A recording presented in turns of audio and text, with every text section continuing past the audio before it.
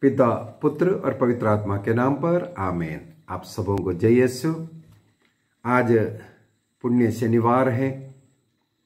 कल हम लोगों ने प्रभु ईसा मसीह के दुख भोग के विषय में मनन चिंतन किया। विशेष रूप से प्रभु ईसा मसीह के उस क्रूस के रास्ता पर मनन चिंतन करते हुए हम अपने पापों अपराधों को प्रभु के साथ आ, क्रूस पर चढ़ाए। और प्रभु ईसा मसीह को दफनाया। संत पेत्रोस अपने पहला पत्र, अध्याय तीन, वाक्य अठारह से बाईस तक, एवं अध्याय चार, वाक्य छ यहाँ सब प्रभु ईसा मसीह के लिम्बूस में उतरने के विषय में मृतकों के उस देश में उतरने का विषय में लिखा है। और उसी प्रकार एफेसियों का पत्र दिया है चार वाक्य नौ। आदि में हम लोग इस विषय पर विषय को पढ़ सकते हैं। आज पुण्य शनिवार के दिन मेरे मन में आ रहा है, प्रभु ईसा मसीह क्रूस पर जो बोले गए आखिरी सात वचनों पर हम साधारणता पुण्य शुक्रवार के दिन मनन चिंतन करते हैं। तो कल हम लोगों ने प्रभु ईसा मसीह के दुख भोग पर मनन चिंतन करते हुए, उस क्रूस रास्ता करने के कारण, उस पर हमने मनन चिंतन नहीं किया। आज मेरे मन में आया है जो पहला, जो वचन प्रभु ईसा मसीह ने क्रूस पर से कहा। लूकस के सुसमाचार अध्याय तेईस वाक्य चौतीस के अनुसार प्रभु ईसा मसीह क्रूस पर सबसे पहले यही कहा, पिता, इन्हें क्षमा कर, क्योंकि ये नहीं जानते हैं कि क्या कर रहे हैं। पिता, इन्हें क्षमा कर, क्योंकि ये नहीं जानते हैं कि क्या कर रहे हैं। पापियों के साइड लेकर पापियों को अपने पीछे रखकर, सामने खड़े होकर मध्यस्थ करने वाला एक मसीही का रूप हमें यहाँ प्राप्त है। ईसा मसीह उनके विरोध में बोलने वाले, उनके ऊपर थूकने वाले, थप्पड़ मारने वाले, उनके खिलाफ झूठी गवाही देने वाले उनको मारने वाले, पीटने वाले, क्रूस पर चढ़ाने वाले सबों के लिए पिता से विनती करते हैं, पिता इन्हें क्षमा कर। और उसका कारण भी प्रभु कहते हैं, ये निर्दोष है, बेगुनाह है, इन्हें छोड़ दो। उनके पाप अपराध को प्रभु अपने ऊपर लेकर के कहते हैं, इन्हें छोड़ दो, क्योंकि ये नहीं जानते हैं ये क्या कर रहे हैं? दूसरी एक भाषा संत पौलूस ने लिखा है। संत पौलूस रोमियो का पत्र अध्याय सात, वाक्य पंद्रह एवं सत्रह। यहाँ पर संत पौलुस कहते हैं, मैं जो करना चाहता हूँ वह नहीं कर पाता, लेकिन जो नहीं करना चाहता वही करता हूँ। यदि मैं वही करता हूँ जो नहीं करना चाहता तो मैं नहीं करता, बल्कि मुझमें जो निवास करने वाला जो पाप है। अर्थात मेरे अंदर ऐसा कुछ पाप है जो मुझे बार बार पाप कराता है, पाप में गिराता है। मैं नहीं चाहते हुए भी अनेकों बार ऐसा कर्म कर रहा इसलिए संत पौलुस कहते हैं, मैं जो गलत कर रहा हूँ, उसका कारण है मेरे अंदर निवास करने वाला पाप। और पौलुस एफेसियों को लिखते हुए कहते हैं, एफेसियों का पत्र दिया छह वाक्य बारह में, हमारी लड़ाई निरे मनुष्यों से नहीं है, बल्कि हमारा लड़ाई उन दुष्ट आत्माओं से जो दुष्ट आत्मा हमें बहकाता है, हमें पाप में गिराता है लेकिन हम लोग लड़ते हैं मनुष्यों से। अपने साथ रहने वाले, अपने परिवार वाले, अपने पड़ोसी, अपने मित्र जो जो लोग हैं, हमारे साथ है, जो निरय मनुष्य है, उनसे हम लोग लड़ते हैं। तो प्रभु ईसा मसीह यहाँ पर यही कहते हैं, इनसे नहीं, बल्कि इनमें जो कमियाँ हैं, जो पाप है, जो निवास करता है, उस कारण। इसलिए ये निर्दोष है। ईसा मसीह पापियों का साथ साइड, उनका बचाव करते हुए अपने पिता से प्रार्थना करते हैं। और संत पौलुस फिलिपियों को लिखते हुए, फिलिपियों का पत्र दिया है दो वाक्य पाँच में लिखते हैं, फिलिपियंस टू फाइव। आप लोग प्रभु ईसा मसीह के मनोभाव को अपनाओ। हमें प्रभु ईसा मसीह का इस मनोभाव का धारण करना है। क्योंकि मसीह ने हमें सिखाया, शत्रुओं से प्रेम करो। मती के सुसमाचार, उसके अध्याय पाँच में हम लोग पढ़ सकते हैं, प्रभु ईसा मसीह हम लोग से आग्रह करते हैं कि हमें अपने शत्रुओं से प्रेम करना है। यदि कोई हम लोगों के विरुद्ध है, हम लोगों को दुख पहुंचाता है, कष्ट पहुंचाता है, ऐसे लोगों के लिए हमें प्रार्थना करना है। वाक्य चौवालीस को पढ़ता हूँ। परंतु मैं तुमसे कहता हूँ, अपने शत्रुओं से प्रेम करो और जो तुम पर अत्याचार करते हैं, उनके लिए प्रार्थना करो। प्रभु ईसा मसीह ने केवल सिखाया नहीं उनके ऊपर अत्याचार करने वाले पापी लोगों के लिए प्रभु ईसा मसीह ने प्रार्थना किया, उन्हें क्षमा किया। इसलिए ईसा मसीह क्रूस पर से कहते हैं, पिता, इन्हें क्षमा कर दो, क्योंकि ये नहीं जानते हैं ये क्या कर रहे हैं, क्योंकि उनके अंदर जो निवास करने वाला जो पाप, जो सैतान ये करा रहा है। तो केवल मसीह ने ये सिखाया नहीं, बल्कि कर कर दिखाया, जी कर दिखाया। अपने जीवन में बोलने वाला हर एक बातों को उतार करके, जी करके दिखाने वाला प्रभु है हमारा प्रभु यीशु। तो ईसा मसीह ने कहा, तुम अपने शत्रुओं को प्यार करो। शत्रुओं को प्यार करने के लिए सिखाने वाला मसीह इस प्रकार शत्रुओं को प्यार करते हुए, क्षमा करते हुए हमें दिखाया। यदि हम लोग हिब्रूस, इब्रानियों का पत्र, अध्याय बारह, वाक्य पंद्रह को पढ़ेंगे, Hebrews chapter twelve, verse fifteen, वहाँ पर लिखा है, आप सावधान रहे। कोई ईश्वर की कृपा से वंचित ना हो, ऐसा कोई कड़वा और हानिकर पौधा पनप ना पाए। जो समस्त समुदाय को दूषित करता है। यहाँ पर वचन में लिखा है, आपको सावधान बरतना है। किस चीज़ के लिए? ईश्वर की कृपा से आप वंचित ना हो। आप में ईश्वर की कृपा सदा बरसता रहे। आपके परिवार में ईश्वरीय कृपा बरसता रहे। इसके लिए आपको सावधान रहना है। और आगे क्या लिखा है? आप में ऐसा कोई कड़वाहट नहीं होना है। ऐसा कोई पौधा नहीं होना है जो ईश्वर की ओर से नहीं हो।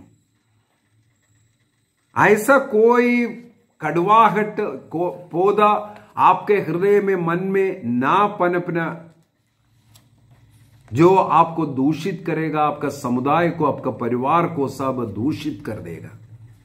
इसलिए इब्रानियों के पत्र में हमें सावधान करता है कि हमें इस प्रकार का कड़वाहट से हमेशा दूर रहना है। अनेकों लोगों का ज़िंदगी इसलिए बर्बाद होता है, वो कड़वाहट से भरा है, नफरत से भरा है। दूसरों को सहन नहीं कर सकता, क्षमा नहीं कर सकता। दूसरों को जब तक हम क्षमा नहीं करेगा हमारे अंदर एक कड़वाहट बढ़ते जाएगा बढ़ते जाएगा। यदि हम लोग आ, मती का सुसमाचार अध्याय पंद्रह वाक्य तेरह को पढ़ें वहाँ पर ईसा मसीह ने कहा जो पौधा मेरे स्वर्गीय पिता ने नहीं रोपा है वह उखाड़ा जाएगा। मैथ्यू चैप्टर 15 वर्स 13 जो स्वर्गीय पिता की ओर से नहीं है, उसको उखाड़ना है। जो नफरत का पौधा हमारे अंदर पनप रहा है, वो ईश्वर की ओर से नहीं ईश्वर शत्रुओं को भी प्यार करने के लिए हमें सिखाता है। मसीह इस प्रकार शत्रुओं को गले लगाते, प्यार करते, हमें ये सबक सिखाया। हमारे अंदर ऐसा कोई कड़वाहट ना हो। क्योंकि ये कड़वाहट हमारे ज़िंदगी को बर्बाद करता है। हमें स्वर्ग राज्य से दूर करता है। हमारे शरीर में नाना प्रकार के बीमारियों का कारण हमारे हृदय में, मन में कड़वाहट रखना है। इस कड़वाहट के कारण हम ईश्वरीय कृपा से वंचित होता है। कई लोग क्षमा नहीं कर सकता। कई लोग आ, सहन नहीं कर सकता। छोटी छोटी बातों पर गुस्सा करना चीखना चिल्लाना ये स्वभाव। क्योंकि वो सहन नहीं कर रहा है। अपनी आँखों को अपना मुँह को अपने कान को बंद कर करके बैठ नहीं सकता। हर बात पर चीखना चिल्लाना लड़ना दूसरों की बुराई करना निंदा करना ये स्वभाव हमें हानिकार पौधा जैसे हमारे जीवन में हानि पहुंचाता है। ईश्वरीय कृपा से हमें वंचित करता है। यदि हमें दूसरों को क्षमा करना है, हमें ईसा मसीह से सीखना है। ये क्षमा करने का कृपा प्रभु हमें प्रदान करता है। जब उस दाखिलदास से हम जुड़े रहेगा, हमारे अंदर पवित्र आत्मा रूपी वो शक्ति आ जाता है जो हम दूसरों को सहन कर सकता है, क्षमा कर सकता है। दूसरी बात है, आज मैं विशेष रूप से यदि दूसरों को क्षमा करोगे, दूसरों के साथ अच्छा मेल मिलाप में रहोगे, दूसरों की बुराई को निंदा जो करते हैं आपको दुख कष्ट पहुंचाता है। यदि आप उसको सहन करेंगे, उन्हें क्षमा करेंगे, उन्हें प्यार करेंगे तो आपके जीवन में मिलने वाले नौ कृपाएँ आशीषों के विषय में बताने जा रहा हूँ। क्षमा करने से मिलने वाला आशीष। यदि उसको हम समझ ले तो हमें क्षमा करना आसान हो जाएगा। इसलिए हमें सबसे पहले उसका क्या क्या फ़ायदा है, इसके विषय में मनन चिंतन करना ज़रूरी है। रोमियो का पत्र दिया है बारह, वाक्य नौ से आगे हम भ्राद्र प्रेम के विषय में मनन चिंतन करते हैं। और आखिरी वाक्य Roman chapter twelve, twenty one में संत पौलुस लिखते हैं, आप बुराई से हरना नहीं। बुराई पर विजय प्राप्त करने का एक तरीके वहाँ बताकर कर दिया। जो आपके शत्रु है, आपके विरोधी है, आपको दुख कष्ट पहुँचाने वाला है, उसके साथ आप भलाई का कार्य करना शुरू करो।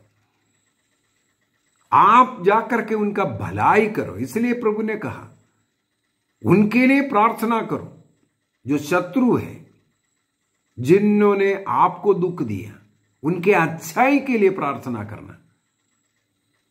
उन्हें एक कृपा मिलने के लिए, ईश्वरीय आशीष मिलने के लिए हमें प्रार्थना करना है। इस प्रकार भलाई के द्वारा बुराई पर विजय प्राप्त करने के लिए लिखा है। तब हमें ईश्वरीय कृपाएँ, आशीष बरसना शुरू करेगा। सबसे पहले मत्ती के सुसमाचार अध्याय पाँच अध्याय छ Matthew chapter six, verse fourteen and fifteen में लिखा है ईसा मसीह ने हे पिता, हमारी प्रार्थना सिखाने के अंत में कहते हैं, यदि तुम दूसरों के अपराध क्षमा करोगे, तुम्हारा स्वर्गीय पिता भी तुम्हारा अपराध क्षमा करेगा। और आगे लिखा है, यदि तुम दूसरों के अपराध क्षमा नहीं करेगा, तुम्हारा स्वर्गीय पिता भी क्षमा नहीं करेगा। और सिराक प्रवक्ता ग्रंथ अध्याय 28 वाक्य एक से चार तक अगर हम पढ़ेंगे, वहाँ पर भी यही लिखा हुआ है। थोड़ा सा पढ़ना अच्छा है। प्रवक्ता ग्रंथ अध्याय 28 वाक्य एक में लिखा है, ईश्वर बदला लेने वालों को दंड देगा और उसके पापों का पूरा पूरा लेखा रखेगा। ईश्वर केवल उन्हीं का पापों का लेखा रखता है जो दूसरों के गुनाहों का हिसाब किताब रखते हैं, जो बुराई का लेखा जो कर रखता है, उन्हीं का ईश्वर भी पापों का लेखा रखेगा। इसलिए हमें क्षमा करना ज़रूरी है। अगला वाक्य वाक्य दो में लिखा है, अपने पड़ोसी का अपराध क्षमा कर दो और प्रार्थना करने पर तुम्हारा पाप भी क्षमा किया जाएगा।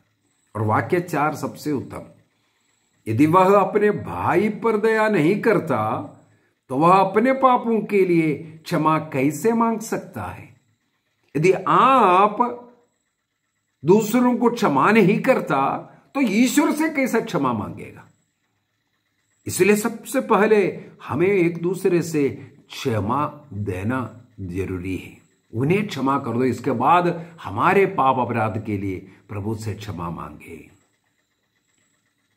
मैंने पाप स्वीकार संस्कार के विषय में जब क्लास लिया था, कुछ दिन पहले ही, तब मैंने जो फाइव स्टेप्स बताया था, उसमें तीसरी स्टेप में मैंने ये भी बताकर के दिया था, हमें एक दूसरे के साथ मेल मिलाप में रहने का दृढ़ निश्चय करना है। एक दूसरे से क्षमा मांगने का, क्षमा देने का दृढ़ निश्चय करना इसके बाद पुरोहित के पास हमें जाकर के पापों को स्वीकार करना है। तो क्षमा देना, क्षमा मांगना हमारे जीवन में कृपा अनुग्रह लाएगा। हमें क्षमा मिलने के लिए हमें दूसरों को क्षमा देना ज़रूरी है। मती के सुसमाचार अठारह अठारह में पेतरुस एक का एक सवाल था। पेतरुस ने पूछा, कितनी बार मैं क्षमा करूँ? सात बार। प्रभु ने कहा, मैं नहीं कहता सात बार। बल्कि सत्तर गुना सात बार। अर्थात अनगिनत बार तुम क्षमा करते जाओ क्षमा करते जाओ। तब हमें भी क्षमा मिलेगा। तो सबसे पहला फ़ायदा यह है हमें क्षमा मिलने के लिए हम जब क्षमा देता है हमें भी मिलता है। दूसरी बात मार्कुस के सुसमाचार उसके अध्याय ग्यारह वाक्य पच्चीस में का, लिखा है जब तुम प्रार्थना के लिए कड़े हैं अर्थात तुम ईश्वर से जो प्रार्थना करते हैं, सबसे पहले अंतकरण की जाँच करके देखो, मेरा किसी के साथ मनमुटाव तो नहीं है। यदि किसी के साथ वैर शत्रुता रख करके आप प्रार्थना करते हैं, आपकी प्रार्थना की सुनवाई नहीं होगी। इसलिए संत मार्कुस ने लिखा है, जब वो प्रार्थना के लिए खड़े हैं, सबसे पहले जितने लोगों से क्षमा करना है क्षमा करो, इसके बाद प्रार्थना करो, तब वो प्रार्थना की सुनवाई होगी। और मतरी सुसमाचार अध्याय पाँच, वाक्य तेईस, वहाँ पर लिखा है, जब तुम वेदी पर बेली चढ़ाने के लिए जाते हैं और वेदी के सामने तुम्हें याद आ रहा है कि किसी को तुमसे कोई शिकायत है तो हम पर प्रभु ईसा मसीह ने कहा, सबसे पहले तुम उनसे जाकर के मेल मिलाप करो। वो भेंट तब अर्पित करना जब तुम मेल मिलाप की अवस्था में हो। मेल मिलाप की अवस्था में नहीं, शत्रुता में है, दुश्मनी में है किसी के साथ बातचीत नहीं, ऐसी अवस्था में यदि तुम भेंट चढ़ा रहे हो, बेली अर्पित कर रहा हो, वो बेली ईश्वर स्वीकार्य नहीं करेगा। अर्थात, मेरा बेली, मेरी प्रार्थना प्रभु स्वीकार करना है तो मुझसे दूसरों के साथ मेल मिलाप का जीवन जीना ज़रूरी है। चौथा, क्षमा करेगा तो हमें चंगाई भी मिल सकता है। याकूब का पत्र दिया है, पाँच वाक्य सोलह के अंदर लिखा है, अब एक दूसरे के सामने अपने अपने पापों को स्वीकार करो। जब हम पापों को स्वीकार करता है, एक दूसरे के सामने हाँ मैंने ये गलती किया, मुझे माफ़ करो। किसी को आपने दुख पहुँचाया, उनसे आप माफ़ी मांगेंगे और उनके अपराधों को आप क्षमा दोगे। तब यदि तुम प्रार्थना करेगा, तुम्हारा चंगाई होगा। नाना प्रकार के बीमार व्यक्ति इस प्रकार क्षमा करते हुए चंगाई प्राप्त हुआ, साक्षी मुझे मालूम है। अनेकों बीमारी का कारण क्षमा नहीं करना, दूसरों के प्रति मन में बुराइयाँ रखना, दूसरों के प्रति ईर्ष्या रखना, जलन रखना, ये हमारे शारीरिक, मानसिक बीमारी का एक मुख्य कारण है। यदि हम अच्छे मेल मिलाप में सबों के साथ प्यार से जीवन जिएँगे, नाना प्रकार के बीमारियाँ दूर हो जाएँगी। एक छोटा सा गवाही है। एक दिन किसी घर गया, वहाँ पर मैंने देखा वो घर को दो भागों में विभाजित करके रखा है। एक घर है, सास ससुर एक साइड में और बहू बेटा दूसरे साइड में। बीच में एक अलमारा रख करके वो द्वार को बंद किया हुआ है। जब उस घर में गया, बैठक रूम जो है, वो बहू बेटे के साइड में है। वहाँ पर हमें बिठाया और वो सास माँ घर के बाहर खड़ी होकर के बातें कर रहे। बातचीत से पता चली गया, इनके बीच में तनाव है, लड़ाई झगड़ा है। बहू बोलने लगी, चिल्लाने लगी। नौ वर्ष हुआ इनका विवाह होकर, लेकिन कोई संतान नहीं है। और हमारे सामने वो चीख करके बोल रहे थे सांस माँ के कारण है, इनका साप है, ऐसा वैसे बोलने लगी। और उस बेटी को मैंने काफ़ी समझाया। बेटी तुम अपने सास ससुर को क्षमा करो, प्यार करो, उनकी सेवा करो। देखना, इस प्रकार आप अनेकों पापों का प्रायचित कर रहा है। साथ ही साथ, इसके द्वारा आपको अनेकों आशीष मिलेगा संदान मिलेगा। तो काफ़ी समय उन्हें समझाया, समझा करके हम लोग चलेगी, प्रार्थना करके मैं गई लेकिन कुछ दिनों के बाद पता चला, वो जो दरवाज़ा बंद था, वो खुला, प्यार में रहने लगे, ये सब। और करीब एक डेढ़ साल के बाद पता चला, उन्हें एक संतान हुआ। जब मैं दूसरी बार उनसे जब मुलाकात किया, तब वो दूसरे बच्चे का माँ भी है। गर्भ में उनका एक और बच्चा है। गर्भ अवस्था में था। तो उनका निसंतानता का एक मुख्य कारण उनके घर का ये जो लड़ाई झगड़ा, सास, माँ और ससुर, उनका अनादर करना, झगड़ना, रोज वहाँ लड़ाइयाँ होते हैं। इस प्रकार का ज़िंदगी जब हटाया, प्यार में आया, तुरंत ईश्वर ने उन्हें आशीष के रूप में दो संतानों को दिया। पाप इस प्रकार का अनुग्रह से, आशीष से हमें वंचित करता है। नफरत, कड़वाहट, ये आशीष, ईश्वरीय आशीषों से हमें वंचित करता है। तो क्षमा करोगे मेल मिलाप की अवस्था में आओगे, हमें चंगाइया मिलेगा। केवल यही नहीं, कैंसर जैसे बड़े बड़े रोग, बीमारी से हमें मुक्ति मिल सकता है क्षमा करने से मेल मिलाप करने से। अगला पांचवा प्रेरित चरित अध्याय सात वाक्य छप्पन से आगे यदि हम लोग पढ़ेंगे वहाँ पर स्टेफानुस के विषय में लिखा है लोग स्टेफानुस को पत्थर मार करके मार डाल रहा था तब स्टेफानुस ने क्या किया घुटना टेका और उन पत्थर मार रहे हैं, उनके लिए प्रभु से प्रार्थना किया, उन्हें क्षमा किया। वही ईसा मसीह ने जो क्रूस पर जो प्रार्थना किया, वही प्रार्थना करते हुए उन दुश्मन के लिए वो जो मार डाल रहे हैं, उनके लिए प्रार्थना किया। पिता, इन्हें क्षमा कर दो। ये नहीं जान रहे क्या कर रहा है, इन्हें क्षमा कर दो। तब दो भयंकर चमत्कार हुआ। स्टेफानुस सांखें ऊपर की ओर उठा करके बोल रहे थे। उस समय पर स्टेफानुस ने देखा स्वर्ग को खुला हुआ। अर्थात जब हम दूसरों को, हमारे अत्याचारियों को, हमारे शत्रुओं को प्यार करेंगे, क्षमा करेंगे, उनके लिए प्रार्थना करेंगे, तब हमारे लिए स्वर्ग खुलता है। अर्थात क्षमा स्वर्ग खोलने वाला एक चाबी है। स्वर्ग को खोलने का चाबी है क्षमा करना। स्तेफानुस ने जब उन शत्रुओं को जो पत्थर मार रहा था, उनको क्षमा करते हुए उनके लिए प्रार्थना किया स्वर्ग को खुला हुआ देखा।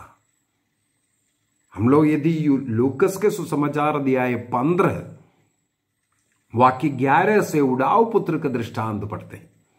वहाँ पर ईसा मसीह ने उड़ाव पुत्र वापस आ गया, पिता उस पुत्र को क्षमा किया स्वीकार किया। लेकिन उनका बड़ा पुत्र, बड़ा वाला बेटा अपने छोटे भाई को क्षमा नहीं किया। बाइबल में हम लोग पढ़ते हैं वाक्य 28 में, लूक चैप्टर फिफ्टीन, वर्स 28 पंद्रह, अट्ठाईस में हम लोग पढ़ते हैं, वो बड़ा वाला भाई घर के बाहर खड़ा रहा, वो अंदर नहीं आया। पिता के घर में वही प्रवेश करेगा जो अपने भाई को क्षमा करता है। स्वर्ग राज्य का दरवाज़ा खोलता तब है जब हम क्षमा करता है। यदि हम क्षमा नहीं करता, हमने दरवाज़ा बंद कर कर रखा है। हमने बंद किया है। क्षमा स्वर्ग को खोलने वाला चाबी क्षमा नहीं करने वाला वो बड़ा भाई घर का बाहर इसलिए कड़े रहना पड़ा, पिता के भवन से इसलिए दूर रहा क्योंकि वो क्षमा नहीं किया, दरवाज़ा को बंद कर कर रखा। हमें क्षमा करने वाला इसलिए बनना है। और वहाँ पर अगला एक चमत्कार ये है, स्टेफानुस को ईश्वर का दर्शन भी मिल गया। पिता के दहने विराजमान, पुत्र को देखा। ईसा मसीह पिता के सामने खड़े होकर के हमारे लिए वकालत कर रहा था। हमारी प्रार्थनाओं को पिता की ओर, हमारे लिए मध्यस्थ के रूप में खड़ा हुआ वकालत करने वाला एक पुत्र को स्तेफानुस ने वहाँ पाया। ईश्वरीय दर्शन क्षमा के द्वारा मिलता है। ईश्वरीय अनुभव क्षमा के द्वारा मिलता है। ईश्वर का अनुभव में रहना है। हम क्षमा करते हुए मेल मिलाप की अवस्था में, प्यार की अवस्था में इसलिए रहना बहुत ही ज़रूरी है। अगला सातवा, लूकस के सुसमाचार अध्याय सात वाक्य पैंतीस में, Luke chapter seven thirty five में लिखा है, जो क्षमा करता है और सबों के साथ भाईचारे में मेल मिलाप में रहता है, वो ईश्वर का पुत्र बन जाते हैं। लुकस के सुसमाचार, अध्याय छ वाक्य पैंतीस को पूरा पढ़ लेता हूँ मैं। बहुत ही सुंदर वचन है। परंतु अपने शत्रुओं से प्रेम करो, उनकी भलाई करो, और वापस पाने की आशा ना रखकर उधार दो। तभी तुम्हारा पुरस्कार महान होगा। और तुम सर्वोच्च प्रभु के पुत्र बन जाओगे। इसलिए हमें दूसरों को क्षमा करना, सहन करना, प्रेम करना, भाईचारे का जीवन जीना। केवल वही ईश्वर पुत्र है। ईश्वर का संतान बनने के लिए हमें क्षमा करना अनिवार्य है। और मती का सुसमाचार, अध्याय पाँच, वाक्य अड़तालीस में, Matthew chapter five, forty eight में लिखा है, तुम पूर्ण बनो, जैसे स्वर्गीय पिता परिपूर्ण है। स्वर्गीय पिता जैसे पूर्ण बनने के लिए हमसे कहते हैं, तुम शत्रुओं को प्रेम करो। तुम्हारे साथ दुर्व्यवहार करता है, तुम्हारा अनादर करता है, तुम्हें दुख कष्ट देता है, उन्हें तुम प्यार करो, सहन करो, क्षमा करो, तब तुम ईश्वर के समान पूर्ण बनोगे। और आखिरी नौमा अयुब का ग्रंथ, अध्याय बयालीस वाक्य दस में लिखा है। अयुब के तीन दोस्त लोग अयुब के पास आकर के उनको खोस रहे थे। उनके विरुद्ध में बोल रहे थे अयुब के ज़िंदगी में जो कुछ घटना हुआ, जो दुख, कष्ट, रोग, दर्द के जो घटना हुआ, उन दोस्त लोग आकर के अयुब के खिलाफ बोलने लगे। तुम्हारे पाप के कारण तुम्हें ये सब सजा दंड मिल रहा है। इस प्रकार उसके दुख में और कष्ट पहुँचा रहा था। और आखिरी में हम लोग अध्याय बयालीस में पढ़ते हैं जब इन तीन दोस्त लोग जब बलि अर्पित कर रहे, प्रार्थना कर रहे, प्रभु ने बोला, मैं स्वीकार नहीं करूँगा। यदि तुम्हारा दोस्त आयुब तुम्हारे लिए बलि अर्पित कर, प्रार्थना करेगा तो स्वीकार करेगा। तब आयुब के पास जाते हैं। आयुब ने उनके लिए बलि अर्पित किया, प्रार्थना किया, और जॉब चैप्टर 42 10 में लिखा है, आयुब का ग्रंथ अध्याय बयालीस दस में लिखा है जब आयुब ने इस प्रकार अपने दुश्मन, अपने खिलाफ बोलने वाले, अपने को कष्ट देने वाले, उनके लिए बलि अर्पित करते हुए प्रार्थना किया, ईश्वर ने आयुब की ज़िंदगी में जो कुछ नष्ट हुआ, वो सब लौटाया। कैसे लौटाया? दुगुनी मात्रा में लौटाया। जो कुछ नष्ट हुआ था धन, दुगनी मात्रा में उन्हें उन्हें मिल गया, प्राप्त किया आयुब ने। हमारे जीवन में भी जो अनुग्रह, ईश्वरीय अनुग्रह, आशीष, जो खुशी, जो नष्ट हुआ ज़िंदगी में, उसको दुगनी मात्रा में ज़िंदगी में चाहिए। कल हम लोग ईस्टर मनाने वाला है। आज हमें उस ईस्टर का खुशी और आशीष प्राप्त करने के लिए यही कार्य करना है। सबों के साथ मेल मिलाप रखने का, सबों को क्षमा करते हुए उनसे जाकर के क्षमा मांगते हुए मेल मिलाप का पवित्रता का जीवन जिएँगे, ईश्वर का संदान बनेंगे। तो हम लोगों ने मनन चिंतन किया। यदि हम क्षमा करेगा तो पहली बात हम लोगों ने मनन चिंतन किया, हमें भी क्षमा मिलेगा। दूसरा, हम क्षमा करते हुए जो प्रार्थना करेगा तो प्रार्थना की सुनवाई होगी।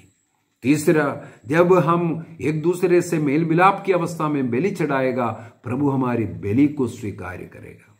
चौथा, जब हम दूसरों के सामने अपने गुनाहों को स्वीकार करते हुए, दूसरों को क्षमा देते हुए प्रार्थना करेगा, हमारे रोग, बीमारियाँ, दुख, कष्ट सब दूर हो जाएगा। अगला, जब हम इस प्रकार क्षमा करते हुए, दूसरों को सहन करते हुए, क्षमा करते हुए प्रार्थना करोगे, हमारे लिए स्वर्ग खुलेगा। छठवा में हम लोगों ने मनन चिंतन किया, जब हम क्षमा करता है, ईश्वर का दर्शन, और ईश्वर हमारे लिए मध्यस्थ बन करके रहा, रहता है, और हमारे लिए प्रार्थना करता है प्रभु यीशु, और हमने देखा, ईश्वरीय दर्शन के लिए हमें क्षमा करना है। अगला हम लोगों ने मनन चिंतन किया, पूर्ण बनने के लिए ईश्वर जैसे, पिता जैसे पूर्ण बनने के लिए हमें भी शत्रुओं को प्रेम करना है, क्षमा करना, सहन करना है, उनके लिए प्रार्थना करना है। जब इस प्रकार का कार्य हम करता है, अगले में हम लोगों ने मनन चिंतन किया, तब हमें ईश्वर का संदान बनेंगे। और आखिरी में नौवें पॉइंट में हम लोगों ने मनन चिंतन किया, हमें दुगनी आशीष इसके द्वारा प्राप्त हो सकता है। तो यह है यदि हम क्षमा करोगे, प्रभु ने हमारे बड़े बड़े पाप, अपराध, निर्देश सेवक का दृष्टांत मती का सुसमाचार अध्याय अठारह में पढ़ते हैं। लाखों रुपया हम कर्जदार हैं और हमें केवल सौ रुपया क्षमा करना है। थोड़ा सा हमें क्षमा करना है, तब हमें लाखों रुपया क्षमा मिलता है।